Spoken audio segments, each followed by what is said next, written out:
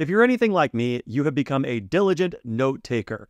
Whether you're in meetings taking notes on that, or studying a topic, or anything else, you have Obsidian or another note taking app, you've built systems, you've built customizations, and you've gotten really good at taking notes. But that is just the first step. What you need is to actually be able to do something with those notes. And that is by far the hardest So you have your second brain, but is it actually functioning like a second brain? So I've developed a few different systems that I use to actually use the notes that I'm taking, and I want to share some of those with you. Just to note, this is not definitive. There are lots of additional things you can be doing, and I think technology is eventually going to catch up too. But for now, I think that these are some really great ways that you could actually use the notes that you take. These are five ways to actually use the notes that you're taking. Always process article, book, or meeting notes after writing or importing. I've developed a practice that I like to call processing my notes. It's sort of loosely based on Zettelkasten and the process is outlined in this book, How to Take Smart Notes, but it's been modified for my use, and I'm going to show you kind of what that means here too. At some point, you will finish writing a note, whether that's after a meeting is over or after you finish reading an article or reading a book, and you'll have a list or a, a note full of things that you wanted to remember from that note. There are a few different steps after that point that I take in order to process my notes. The first is actually reread everything. And as I'm rereading it, I flesh out the ideas. I make sure everything that I'm writing is clear enough for my future self. And as I'm going through it, I will bold and italicize certain parts of those raw notes. So key points that I want to jump out at me when I reread this note, I'll make in bold, and helper phrases or, or anything kind of related to that, I'll add in italicize. After that's done, I'll add another section to the very top of the note where I rewrite the main points in my own words. This forces me to actually think about what I'm learning and internalize it. Plus, it's a gift for my future self when I return back to this note to remember what I found valuable from it. This is also the point where you link to your other notes, you add tags, you do all that housekeeping stuff. And optionally, if you have a property tag for summary, write a one sentence summary. And I'm going to talk a little bit more about that later in this video. Start doing Random Note Fridays. There is a button on the left hand sidebar of Obsidian that looks like a die. And when you click it, it opens a random note. This isn't just gambling, it's actually a great way to review notes that you might not have seen in a while. So dedicate maybe 30 minutes, 45 minutes every Friday and click that note and go back and review random notes in your system.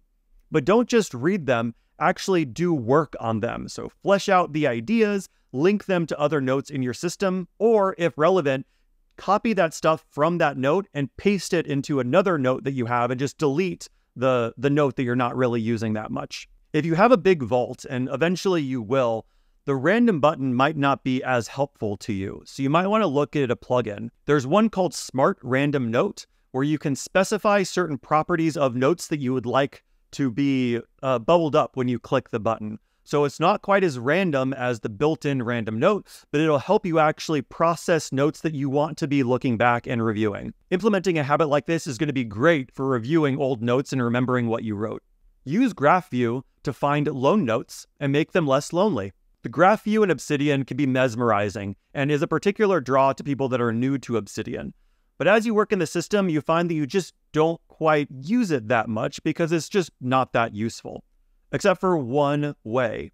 If you use your graph view to find individual nodes that are unattached, that's a great way to go through your system and find notes that might not be processed.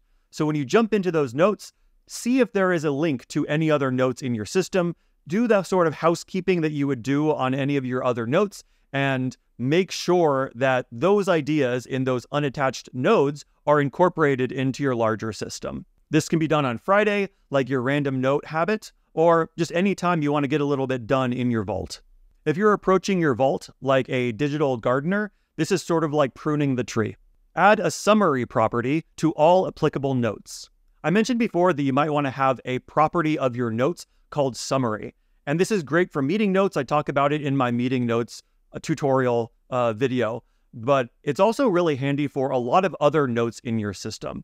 Basically, you can add a property called Summary, And then for notes that are applicable, just add a one sentence summary as to what that note is about.